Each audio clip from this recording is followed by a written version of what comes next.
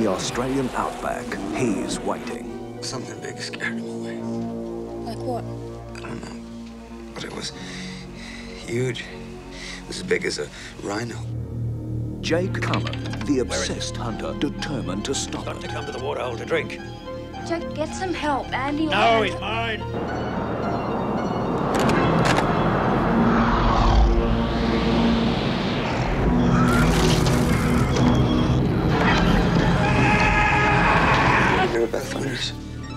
Animal campaigner?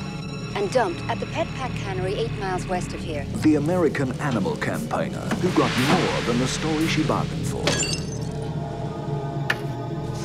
Don't rub her up! She wasn't very popular around here. What'd you do to my wife, Benny? And the crazed brothers who protected their own secrets at all costs. You ask too many bloody questions, you know that? Do you know what happened to her? Razorbacks. Carl Winters searching for the answers. Godless vermin. He's only got two states of being.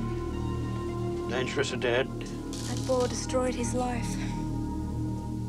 Now listen, Bill, you're in the middle of bugger all here, so for Christ's sake, don't go walkabout. We'll never find you. Now we'll be back in five or six hours. Gregory Harrison in his first major motion picture, running for his life.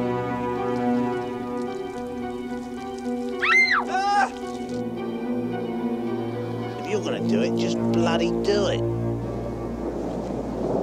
Hello? Come on, man, shoot me! You finished the kangaroo!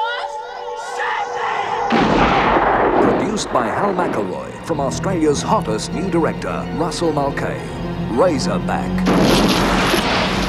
He's only got two states to being. Dangerous or dead. Razorback.